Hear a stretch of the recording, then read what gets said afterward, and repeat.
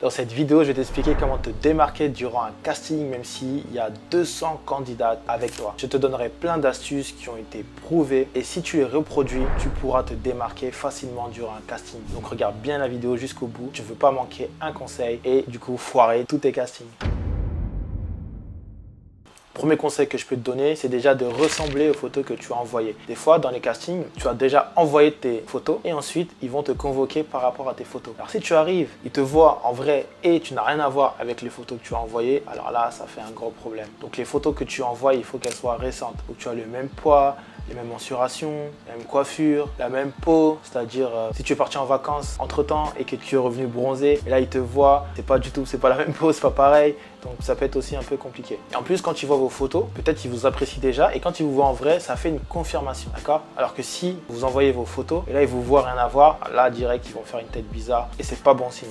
Ensuite, durant un casting, on peut souvent vous demander de marcher. Ça arrive très régulièrement, ça arrive même tout le temps pour les castings de la Fashion Week. Mais même pour une marque, peut vous demander de marcher. Alors, quand vous marchez déjà, soyez confiante, déterminée et énergique. Soyez vraiment à fond, sinon il y en a d'autres qui seront plus à fond que vous et elles seront prises et pas vous. Soyez vraiment confiante et faites une marche du tonnerre pour vraiment surprendre le jury. Et croyez-moi, ils ne vous oublieront pas. Si vous marchez normalement, comme tout le monde, pourquoi ils vous retiendront vous et pas les autres? Sur 100 filles, vous marchez comme 95 filles vous ne sortirez pas du lot. Il faut vraiment vous démarquer. Ils vont voir une centaine, même plus de mannequins la même journée. Donc, il faut que vous sortiez du lot. Et tout ça passe par la démarche, la confiance, le charisme, l'énergie et la détermination. Ils peuvent également prendre une petite photo de vous. Voilà, une photo rapide. Ça peut même être avec le téléphone. Et là, c'est une autre manière pour vous de vous démarquer. Donc, ne négligez pas ça et prenez ça comme un autre moyen de vous démarquer. Même si c'est avec un téléphone, démarquez-vous. Vous devez être audacieuse pour écraser la concurrence. Pour vous démarquer aussi durant un casting, vous devez être consciente de votre énergie et de votre confiance en vous. J'ai vu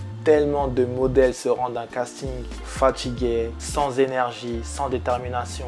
On a l'impression qu'elles n'ont pas envie d'être là. Comme ça, ils allaient en cours, ils allaient faire 4 heures de philosophie. N'ayez pas l'air pressé aussi. Si vous avez rendez-vous avant, si vous montrez, vous êtes là, regardez votre monde, vous êtes agité, etc. C'est pas beau à voir et ils ne vous prendront pas. Avant même que vous ayez parlé, ils ne vont pas vous prendre. Qu'ils vont voir vous agiter sur votre chaise et que vous avez l'air pressé, vous regardez l'heure sans arrêt, vous soufflez, ils ne vous prendront pas. De avoir une énergie positive contagieuse, être optimiste, soyez charismatique et votre énergie positive sera contagieuse. Les clients se rappelleront de vous et ça leur donnera envie de travailler avec vous. Autre conseil que je peux vous donner, c'est de connaître la marque. Vous allez me dire que c'est logique, mais non. Certaines personnes se rendent à un casting pour une marque ne connaissent même pas la marque. Elles ont vu casting, elles sont parties, mais elles ne connaissent pas la marque. Et ça, c'est pas bon. Ou bien elles ont juste tapé sur Google la marque, ils ont vu qu'ils faisaient des vêtements, je sais pas, des maillots de bain, et ils sont partis. Ça, non. Il faut quand même se renseigner un minimum sur la marque. Que déjà, les clients peuvent vous poser deux, trois questions concernant la marque, ça peut arriver. Ils peuvent aussi vous poser des questions sur votre expérience. Donc, c'est important de connaître la marque comme ça. Vous n'avez pas raconter toute votre expérience, en avez beaucoup, mais vous, pouvez uniquement parler de l'expérience qui ressemble à ce que la marque fait. Et du coup, là, ça va créer un lien. Alors que si vous connaissez pas la marque, vous allez parler de votre expérience de sport alors que la marque c'est une marque de maillot de bain. Donc rien à voir avec le streetwear. Vous pouvez aussi vous renseigner sur quel type de mannequin ils prennent et quel type de job ils font aussi. Ça aussi c'est très important, ça va vous permettre